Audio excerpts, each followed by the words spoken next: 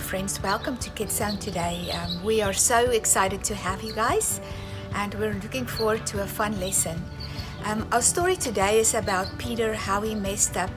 But you guys know what? We cannot surprise God. Jesus knew that Peter was going to mess up. He, um, he told Peter, hey Peter, before the rooster crows, you are going to deny me three times. And you know what's the most wonderful thing about that? Even though Peter messed up big time, God still loved him. And that's the same way, even if we make mistakes, God still loves us. So this is our craft for today. I hope you have fun doing it. It was so much fun to see you guys on Tuesday getting otter pops and doing some chalk art and just having fun on the grass at church. Bronwyn has some more news about our Otter Pop Tuesdays.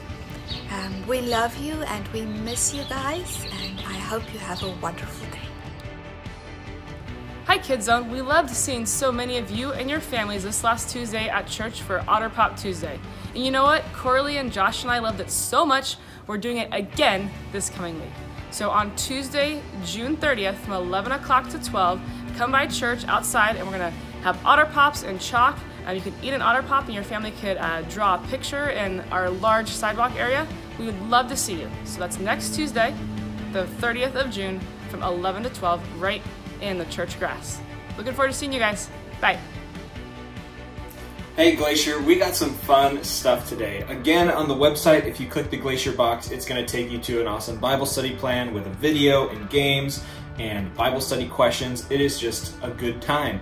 We also have a fun Kahoot that you guys can do for Glacier and Kids Zone, so you guys should check that out.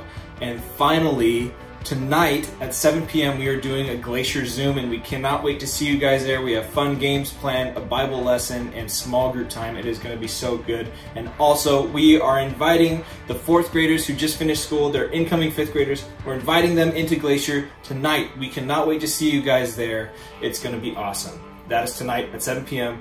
I sent out a email with a Zoom link so you guys can check your emails and join us through that.